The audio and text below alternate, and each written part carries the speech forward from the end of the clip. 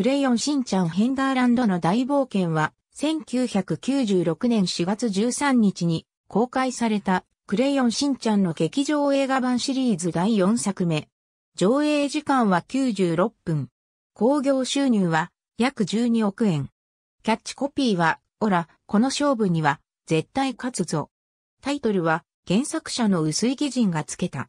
この作品から、薄井は映画制作から関係を薄くしていて、原作漫画も描かなくなった。2009年に、薄井が死去したため、この作品が、薄井が制作側として直接的に関わった最後の作品となった。また、監督の本郷光は、本作公開の半年後に降板し、自作より原敬一に交代した。本作で流れた BGM は後にテレビアニメでも何度か使われたことがある。さらに本作に登場するキャラクター、スノーマンパーは、クレシンパラダイス、メイドイン、埼玉やテレビアニメに何度も登場したりと本作のテレビアニメへの影響は大きい。ブリブリザエモン、バラクミエンジ、河村康夫、カンタムロボが劇場版初登場している。今作品の公開後、野原ひまわりが誕生したため、野原家3人での劇場版は、これが最後である。新之助は、双葉幼稚園の遠足で、群馬にできた新しい遊園地、ヘンダーランドに遊びに来ていた。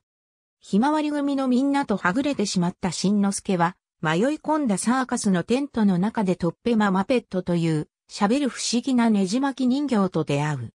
彼女から、ヘンダーランドは、世界征服を企む、異世界のオカマ魔女、マカオと、ジョマが潜む城であることが語られる。トッペマは新之助にどんな願い事でも叶えられる魔法のトランプを手渡し、マカオとジョマの世界征服計画を阻止するよう協力して欲しいと頼む。そこにマカオとジョマの部下、クレイジーマットが現れ、捕まりそうになるが何とか撃退する。二人はテントから抜け出そうとするが、別の部下であるチョキリーヌ・ベスタが現れ、魔法を受けたトッペマは姿を消されてしまう。家に戻った新之助が風呂に入っていると、そこにトッペマが現れる。トッペマは、チョキリーヌの呪いによって、夜の間しか姿を現すことができなくなったことを告げ、改めてオカマ魔女撃退に協力してほしいと頼み込む。だが新之助は怖がってその頼みを拒絶し、トッペマも仕方なく、新之助に見切りをつけて去っていった。しかし彼女が去り際に残していった魔法のトランプを新之助はいつもの日常の中でおもちゃ箱にしまうのだった。数日後、スノーマンパーと名乗る雪だるまのような男が春日部市を訪れた。スノーマンは教育実習の先生として双葉幼稚園に現れ、子供たちの人気者となる。新之助も当初は信用していたが、偶然トイレです。ノーマンと二人きりになった際、彼が魔法のトランプの存在を知っていることを知り、危機感を覚える。さらにスノーマンは、ミサエとヒロシを言葉巧みに騙し、野原家にまで入り込む。新之助はスノーマンは悪者だと訴えるも、言いくるめられているミサエとヒロシは聞く耳を持たない。スノーマンは、ミサイとヒロシを睡眠薬で眠らせた上で深夜に、とうとう本性を表し、新之助から魔法のトランプを奪おうと襲いかかる。その時、新之助がトッペマから教わっていた呪文、すげえなすごいですを唱えると、アクション仮面、カンタムロボ、ブリブリザエモンが助けに現れる。新之助は三人と力を合わせ、なんとかス、ノーマンを追い払う。しかしスノーマンは退散する際、野原家のポストに突然出て行ったお詫びの手紙と、ヘンダーランドの招待券を残していった。後日、野原家は、その招待券を持ってヘンダーランドへと遊びに行くことに。新之助はなおも、ヒロシとミサイにスノーマンに騙されていると訴えるが、依然としてそれは、夢の話だと相手にされない。ヘンダーランドにつきヒロシとミサイが、アトラクションではしゃいでいる間も、自分の言うことを信じてもらえない新之助は全く楽しめなかった。そして日が暮れるまですっかり、ヘンダーランドを満喫したヒロシとミサエが、もう帰宅しようという気になったことで、新之助もようやく安堵して喜ぶ。しかし帰路に着く直前、ヒロシとミサイはトイレに行ったところで、マカオたちに捕まり、偽物の人形にすり替えられてしまう。帰宅後、新之助はその偽物の広とミサエに、風呂場で襲われ絶対絶命の状況に陥るが、そこへ再び現れたトッペマに、偽物の2体を倒してもらい救われる。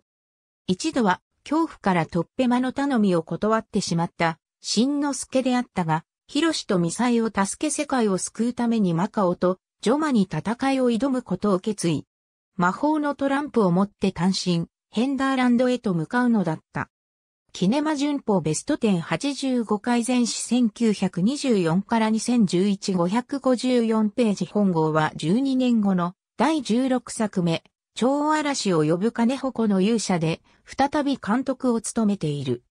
テレビアニメの風間くんの秘密ノートだぞでは、風間の部屋の棚の上にヘンダーくんのぬいぐるみが飾られているほか、家族はやっぱりいいもんだぞでは、かき氷店のマスコットキャラクターとして登場している。